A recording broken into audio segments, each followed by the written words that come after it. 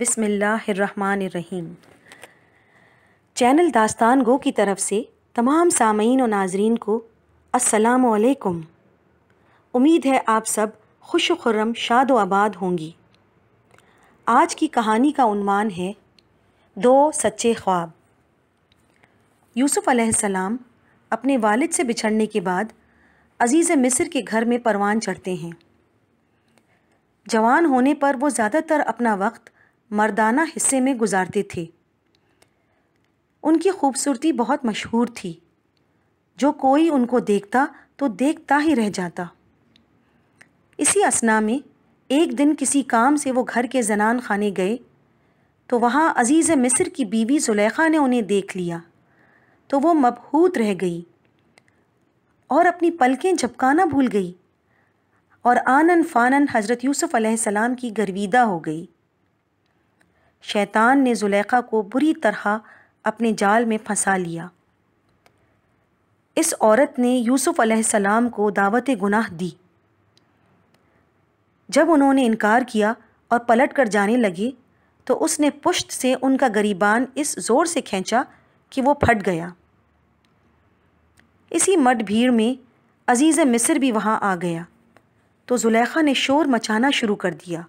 اور یوسف علیہ السلام پر بہتان باندھا کہ ان کی نیت اسے دیکھ کر خراب ہو گئی ہے۔ اسی طرح بغیر کسی جرم و گناہ کے یوسف علیہ السلام زندان میں قید ہو گئے۔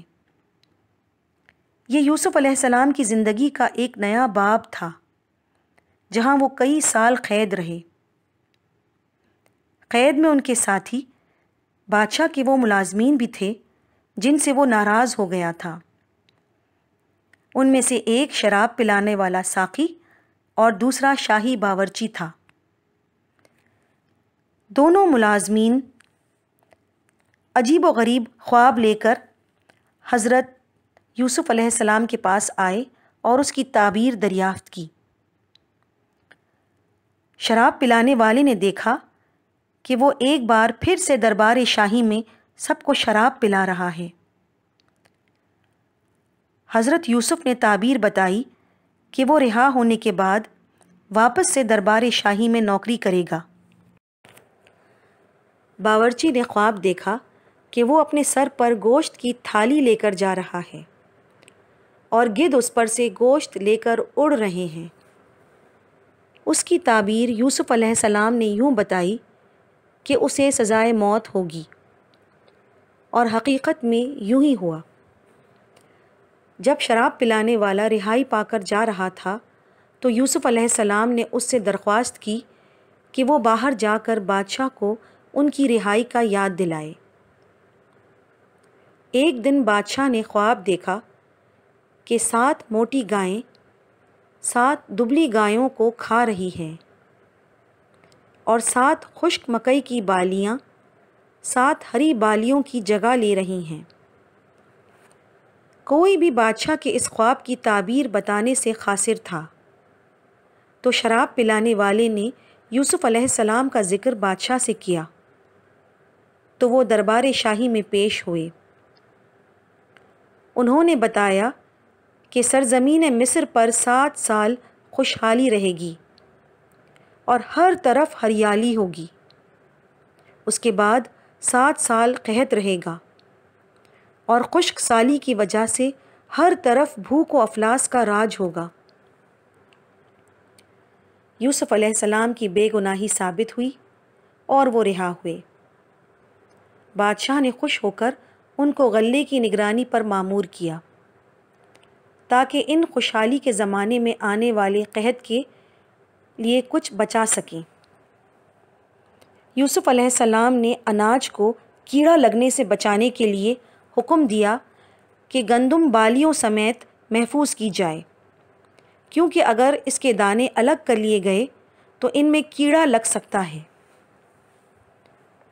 خواب کے مطابق، خوشحالی کے سات سال گزر گئے۔ اور پھر بدحالی اور قید سے دنیا دو چار ہوئی۔ لوگ دانے دانے کو ترسنے لگے۔ نہ بارش ہوتی تھی اور نہ کوئی اناج اگتا تھا۔ انسان تو انسان، جانور بھی اس مصیبت کا شکار ہوئے۔ یہ قحط سالی اتنی شدید تھی کہ اس کے اثرات مصر سے کنان تک پھیل چکے تھے۔ جو یوسف علیہ السلام کا مادر وطن تھا۔ یوسف علیہ السلام کے وہی دس بھائی اناج کے حصول کے لیے مصر تک کا سفر طے کر کے وہاں پہنچ گئے۔ جب وہ اناج کے حصول کے لیے وہاں پہنچے، تو وہاں یوسف علیہ السلام موجود تھے، جنہوں نے اپنے بھائیوں کو پہچان لیا۔ افسوس کہ یوسف علیہ السلام کو کسی بھائی نے بھی نہیں پہچانا، جنہیں انہوں نے کئی سال پہلے کنویں میں دھکیل دیا تھا۔ ان کی دانست میں تو یوسف علیہ السلام کو وہ مار چکے تھے۔ بھائیوں نے اپنا پیالہ اور اناج کی قیمت یوسف علیہ السلام کو دی، تو انہوں نے وہی پیالہ اور قیمت اناج کی بوریوں میں لوٹا دی۔ اگلی صبح جب مسافروں کی تلاشی لی گئی، تو یوسف علیہ السلام کا پیالہ بن یامین کے سامان سے نکلا، جو ان کا سگا بھائی تھا۔ سارے بھائی اس جرم میں گرفتار ہوئے۔ یوسف علیہ السلام نے بن یامین کو اس جرم میں روک لیا اور باقی بھائیوں کو جانے کا حکم دیا۔ جب وہ وطن لوٹے اور یعقوب علیہ السلام کو اس بات کے بارے میں بتایا تو انہوں نے بیٹوں کو بہت ڈانٹا اور بن یامین کے لیے بہت بےتاب ہوئے۔ آخر کار یعقوب علیہ السلام نے خود بن یامین کو لینے کے لیے مصر کا سفر طے کیا۔ اور آخر کار اللہ تعالیٰ نے یوسف علیہ السلام کو ان کے باپ سے ملا دیا، جو ان کی یاد میں رو رو کر نابینا ہو گئے تھے۔ اسی زمانے کے رسم و رواج کے مطابق فرما روا کو رعایا سجدہ کر کے عزت بخشتی تھی۔ اسی حساب سے یعقوب علیہ السلام، ان کی بیوی اور گیارہ بیٹوں نے یوسف علیہ السلام کو سجدہ کیا، جو اس وقت حاکم وقت تھے۔ یوں ان کے بچپن کے دیکھے گئے خواب کی تعبیر پوری ہوئی، جس میں گیارہ ستارے، سورج اور چاند یوسف علیہ السلام کو سجدہ کر رہے ہیں۔